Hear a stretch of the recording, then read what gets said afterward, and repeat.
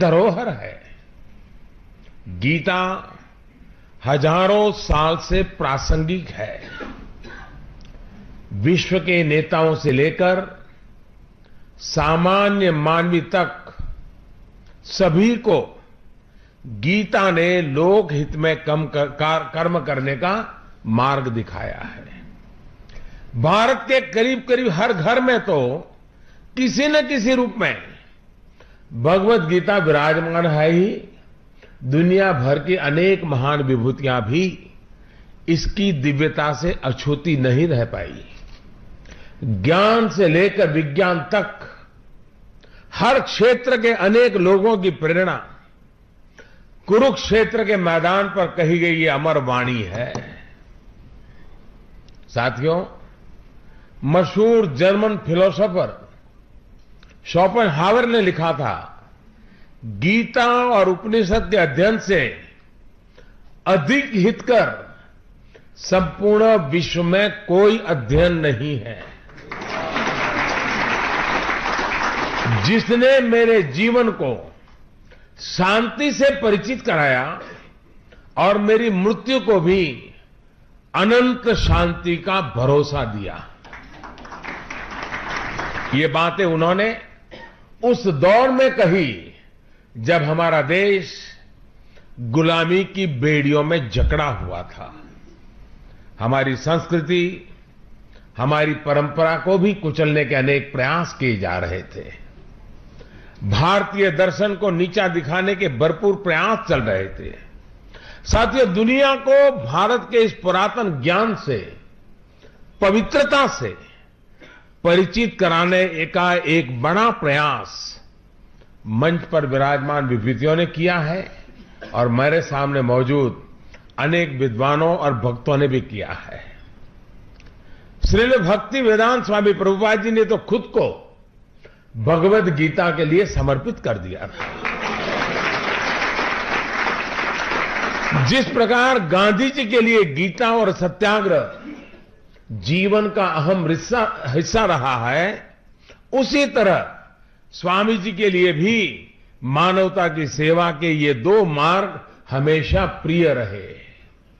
यही कारण है कि उन्होंने पहले गांधी जी के नेतृत्व में भारत छोड़ो आंदोलन में हिस्सा भी लिया था और देश के आज़ाद होने के बाद वो मानव मुक्ति की अलग जगाने दे, दुनिया के भ्रमण पर निकल गए। अपनी मज़बूत इच्छा शक्ति से हर प्रकार की चुनौतियों का सामना करते हुए उन्होंने इस्कॉन जैसा एक अभियान छेड़ा, जो आज भगवान श्री कृष्ण के दिखाए मार्ग से दुनिया को परिचित कराने में जुटा हुआ है। साथियों, गीता धर्म ग्रंथ तो है, पर यह जीवन ग्रंथ भी है। हम किसी भी देश के हो, किसी भी पंथ के मानने वाले हो, पर हर दिन समस्याएँ घेरती रहती हैं। हम जब भी वीर अर्जुन की तरह अनिर्णय के दोहराए पर खड़े होते हैं तो श्रीमद भगवत गीता हमें सेवा और समर्पण के रास्ते इन समस्याओं के हल दिखाती है। अगर आप एक विद्यार्थी हैं और अनिर्णय की स्थिति में है। आप किसी देश के राष्ट्राध्यक्ष हैं या फिर मोक्ष की कामना रखने वाले आप योगी हैं, आपको अपने हर प्रश्न का उत्तर श्रीमद् भगवत गीता में मिल जाएगा। मैं तो मानता हूँ कि गीता मानव जीवन की सबसे बड़ी मैनुअल बुक है। जीवन की हर समस्या का हल गीता में कहीं न कहीं मिल जाता है। अब प्रभु ने तो स्पष्ट कहा है, परित्राणाय साधुनाम विनाशाय च दुष्कृताम धर्म संस्थापना अर्थ है, संभवामी युगे युगे।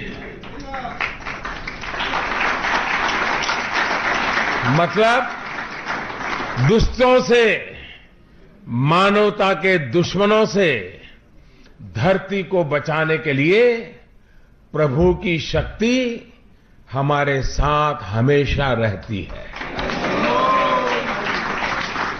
यही संदेश हम पूरी प्रामाणिकता के साथ दुष्ट आत्माओं असुरों को देने का प्रयास कर रहे हैं। भाई और बहनों, प्रभु जब कहते हैं कि क्यों वह व्यर्थ चिंता करते हो? किससे व्यर्थ डरते हो?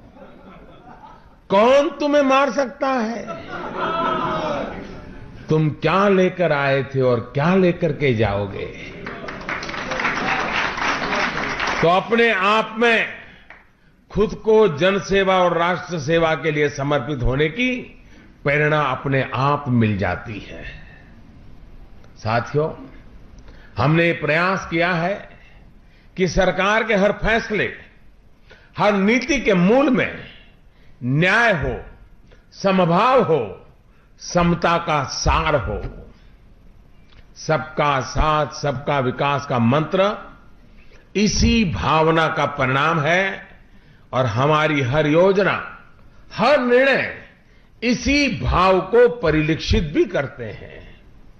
चाहे वो भ्रष्ट आचरण के विरुद्ध उठाए गए कदम हो या फिर गरीब कल्याण से जुड़े हमारे ये निरंतर कार्य, ये हमारे निरंतर प्रयास रहा है कि अपने पराये के चक्कर से राजनीति को बाहर निकाला जाए।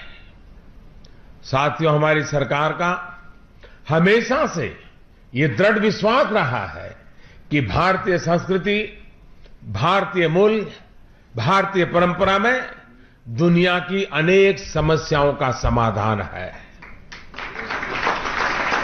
हिंसा हो, परिवारों के संकट हो, पर्यावरण से जुड़ी समस्या हो ऐसी हर चुनौती जिससे दुनिया जूझ रही है, उसका समाधान भारतीय दर्शन में है। योग और आयुर्वेद की मुहिम को विश्व भर में पहचान और उसमें जुटे आप जैसे संस्थान और देश के अनेक संतों की तपस्या को हमारी सरकार ने बुलंद आवाज़ दी है। जिसके परिणाम स्वरूप आज हेल्थ एंड वेलनेस के लिए विश्व तेज़ी से योग और आयुर्वेद की तरफ़ आकर्षित हो रहा है। साथियों, मेरा ये भी मानना है कि योग आयुर्वेद से लेकर के हमारे प्राचीन ज्ञान और विज्ञान से अभी दुनिया का सही मायने में परिचय होना काफ़ी बाकी है। हमारा सर्वश्रेष्ठ अभी दुनिया के सामने आना बाकी है।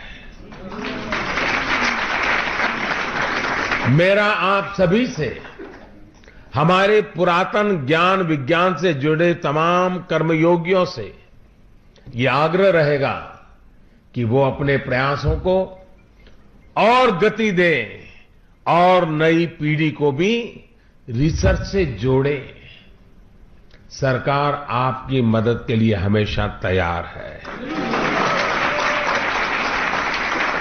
एक बार फिर इस कौन से जुड़े हर भक्त को, हर भारतवासी को मानवता में विश्वास रखने वाले दुनिया के हर व्यक्ति को इस दिव्य भगवत गीता के लिए मेरी तरफ़ से बहुत बहुत बधाई। आपने मुझे यहाँ आमंत्रित किया।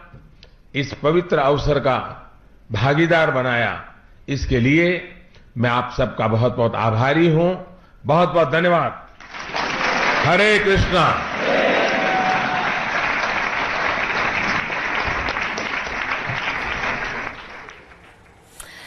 तो आज प्रधानमंत्री नरेंद्र मोदी को आपने इस्कॉन मंदिर के इस मंच से सुना। उन्होंने गीता का ज्ञान दुनिया तक पहुंचाते हुए क्या कहा? आज बहुत ही रिलैक्स नज़र आ रहे थे प्रधानमंत्री मोदी। आज जहाँ इतनी बड़ी एयर स्ट्राइक भारत ने पाकिस्तान के आतंकी ठिकाने पर की है, वहीं दूसरी तरफ़ प्रधानमंत्री मोदी बिल्कुल तनाव से रहित नज़र आ रहे थे। कोई तनाव उनके चेहरे पर, उनकी बॉडी लैंग्वेज में नज़र नहीं आ रहा था। वो मेट्रो से सफ़र करते हुए इस्कॉन मंदिर गए। मेट्रो की वो तस्वीरें हमने आपको दिखाई। आम लोगों के साथ वो बैठे हुए थे, बच्चों के साथ वो खेल रहे थे। आम लोगों से वो बातचीत कर रहे थे। और उसके बाद जब वो मंदिर पहुँचे तो उन्होंने कहा कि आज का दिन बहुत महत्वपूर्ण है। लोगों को लगा कि शायद वो एयर स्ट्राइक के बारे में बात करेंगे, लेकिन उन्होंने शांति की बात की। उन्होंने यहाँ से भी गीता ज्ञान की बात की। आज जिस तरीके का जिस तरीके की बॉडी लैंग्वेज कुलकर्णी जी, हम प्रधानमंत्री मोदी की देख रहे हैं, वो ये बताता है कि अपने आप में कितना ज़्यादा कॉन्फिडेंस इस वक्त प्रधानमंत्री मोदी को खुद अपनी सरकार पर, अपनी लीडरशिप पर और साथ ही साथ हमारी सेना पर।